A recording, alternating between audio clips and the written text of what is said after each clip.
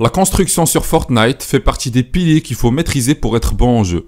Par conséquent, on a vu comment faire des 90 qui est la technique la plus rapide et efficace pour prendre la hauteur.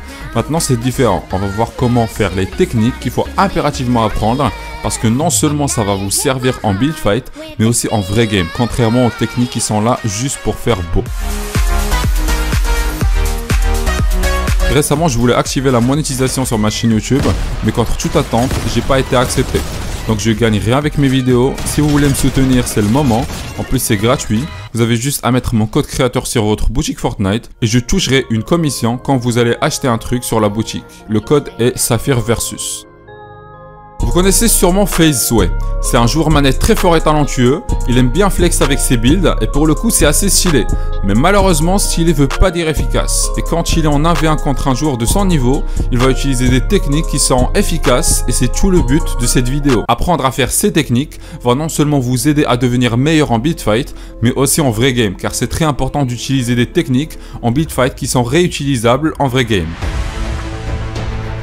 J'ai quasi jamais vu un build fight où cette technique n'a pas été utilisée au moins une fois. Elle est utilisée pour temporiser mais aussi pour créer de bons combos qui permettent de reprendre la hauteur. Pour apprendre cette technique, je vais la faire assez lentement pour que vous compreniez le mouvement.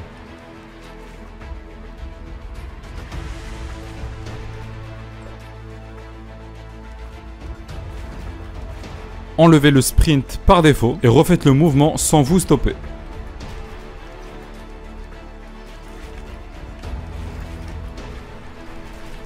Quand vous commencerez à apprendre cette technique, vous allez sûrement faire ça. Là, la faute que j'ai fait, c'est d'oublier des murs derrière moi. Et bah, s'il un ennemi derrière moi, bah, je serai très vulnérable. Deuxième problème que vous allez expérimenter, c'est de mettre tous vos murs, mais qu'au final, mettre votre chapeau ici.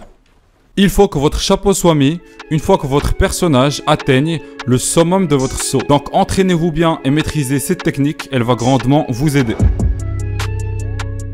C'est une technique qui est utilisée par bon build fighter. Elle est importante car elle te permet de prendre une hauteur de plus en étant assez protégé.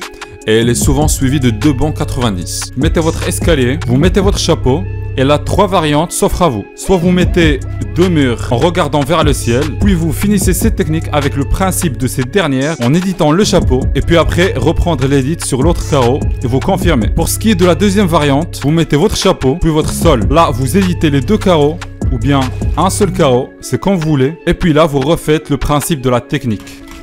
Pour ce qui est de la troisième variante, vous mettez votre chapeau, puis un mur, vous n'aurez pas besoin d'en mettre deux, mais vous devez impérativement sortir votre pioche pour faire l'édit. Parce que si vous sortez pas votre pioche, je mets mon chapeau, je le suis par mon mur. Si je laisse le mur sélectionné, regardez ce qui va se passer. Voilà, je peux pas reprendre mon chapeau. Ou bien vous mettez deux murs, comme la variante 1. Et là, vous pouvez sortir votre mur. L'édit, elle va quand même passer.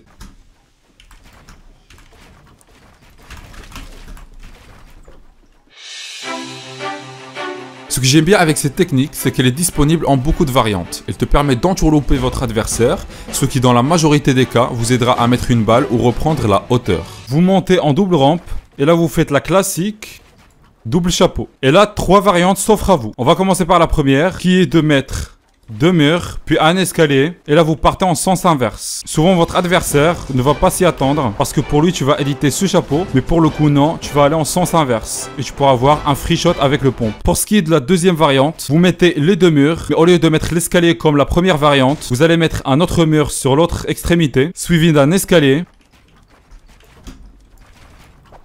Et là, vous pouvez refaire des 90. Ça dépend de votre adversaire. Pour ce qui est de la troisième variante, c'est la plus simple des trois. Vous montez en double rang, double chapeau, et là vous mettez un sol derrière vous. Et vous choisissez soit d'aller à droite ou à gauche. C'est tout simple, c'est tout mais ça marche très très bien. Et vous pouvez faire ça à l'infini.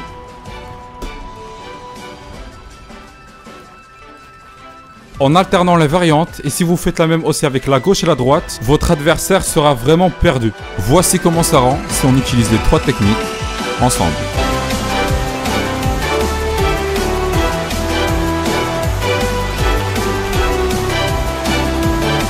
Suivez-moi sur Twitter et sur Instagram, je suis assez actif dessus. En plus, je vous réponds et tout, t'as vu. Mettez mon code créateur Saphir Versus sur votre boutique Fortnite. Merci à tous ceux qui le feront. Sur ce, je vous dis à plus.